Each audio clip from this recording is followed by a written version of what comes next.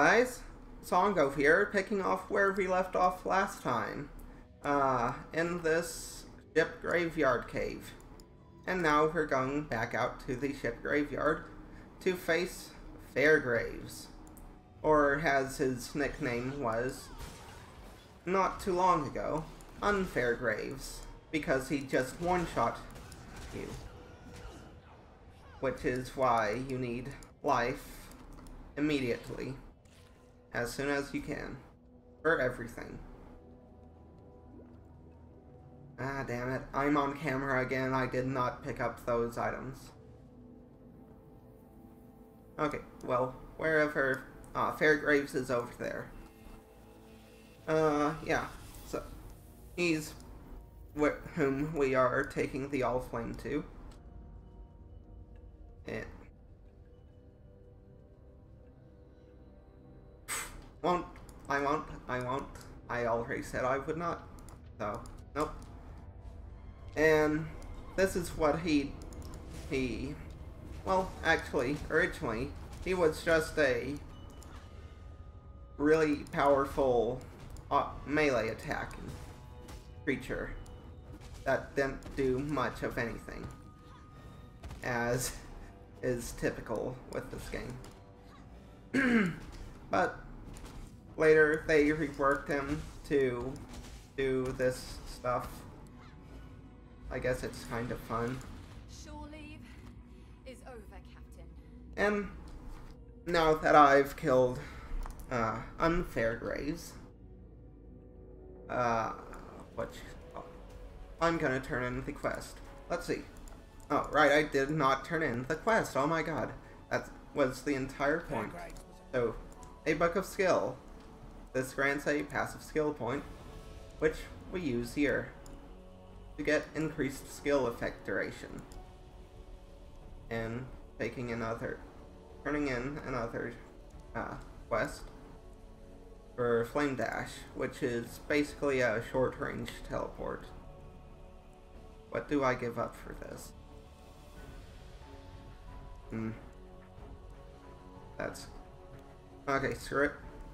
Yeah, I wish they'd expand this hotbar, especially since you have to use one of them on the move only key, which should just be a reboundable key instead of an ability. Yeah. But it's more than what Heroes of the Storm has, I guess. Not gonna pick that up, not gonna pick it up. Urgh. I'm a I'm just going to pick up the rare horns, okay? so, uh, what Essence Drain does is throws out a projectile, which applies a relatively strong dot. And for each point of damage you deal, you heal a little bit, which is part of why I call this the life from death uh, build. And what's even cooler is that if you hit something with contagion on it, uh, contagion should spread that essence drain. So just watch, that's going down, and now they are going down. Whereas normally, it's pretty slow. And boom. Yeah, I think it, at this point, uh, using Wither might be worthwhile. If, uh, ooh, a rare monster. So, let's see just how it, well, it works. Nah, still would be better to just spam my abilities that actually do direct damage. So, increasing skill effect duration again. By the way I leveled up is why I got the skill point, in case that was not obvious. Just throwing that down, and... Hmm. uh.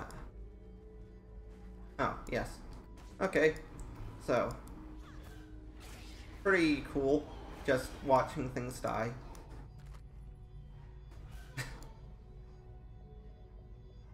Used to be, uh, before they streamlined this, there was a whole nother area between this cave and the ship graveyard, which had served really no function except to be a filler, as with most of this game. But, okay, I'll stop saying that. Jesus Christ. Uh, and yeah. Why do I keep saying that? Because I have nothing to talk about, at least at the very moment. Just killing things.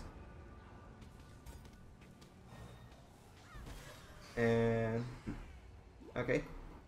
Just there's absolutely no reason to be here for me aside from traveling to the actual boss and moving on to a higher level zone. So unfortunately I have to skip all of this. And okay. And that's Flame Dash in case you haven't. You yeah. Uh not a new ability? Well it was released only a couple months ago. But not one of the abilities present from uh, the new patch. Patch 2.1, they call it. Uh, they explode. In fact, all of these explode. Let's kill them with knives. Uh, I'm probably gonna fail here because I need to protect this thing in order to win, and I'm not doing that particularly well. So, oh, yeah. So, need to last for another half a minute. Uh, I actually enjoy these mini missions from the Masters, which came with the Master, er, Forgotten Masters expansion, I think it was called. So, yeah. Fun. Of course, not all of the quests are particularly good, but I find that one quite acceptable. Or Elreon's, to be, at least. Just gonna dash right through them. No point in fighting considering the only thing this game is about is fighting monsters, it's kind of odd choice to make it so. It's pointless to fight some monsters in some areas. Ooh. And look, we got a corrupted zone from yet another expansion. Don't worry, all of the expansions are free, as this is a free-to-play game, but the corrupted something. Or patch 2.0, was it? Which added corrupted zones. So, what this does is monsters reflect 10% of physical damage. So, since this does physical damage, for if I hit for 30 damage, I'll take 3. And this is basically an AoE ability so I could be hitting five things, or even ten, since it fires ten projectiles, and take 30 damage, which is a pretty healthy sum of my health. So I'm gonna, in fact, even make it so I cannot use that, and instead just burn them down, and yeah. Hopefully profit from the plus 12% increased number of uh well yeah. Uh items yes items. No not gonna pick that up not gonna. I'll only pick up the rares so that I don't go back in the middle of recording. Uh yeah. And looks like we've got the boss here that big red one is a immunity is one of those that grant immunity to uh, their allies. Which, uh, considering that they, uh, summons them, that didn't seem to summon a lot of them, I guess. Is it just because it's low level? I've got absolutely no idea. What the hell? I've never seen this. Let's go to Cavern of Anger. Oh, so they just gave portals out so you don't have to run all the way back. Thank you! Thank you! Finally, GGG, uh, Grinding Gear Games, the company responsible for this game, does something pretty smart. It was such an inconvenience to, how to say, uh, have to run back after clearing it out. So yeah, good thing that changed. It should now be quite nice for anyone else who wants to get into the game. Hell? Oh. right, so just moving on because I'm over leveled and they aren't giving any XP. As I said, that's probably not a good uh, thing. Oh, right. From the corrupted thing, we got a fall burning arrow, which is completely useless. But after collecting souls, you get to use this, and then it explodes, dealing a uh, larger than average sum of stuff. And this is the actual act boss for uh, Act 1. And, oh, I don't think I maxed out my ice uh, resistance, but generally don't need to if you're making sure to dodge everything. oh. And as you can see, her um, health bar is actually covered by a blue thing that is energy shield. Oh, bloody hell. Uh, uh, let's leap through that and chaos damage bypasses energy shield.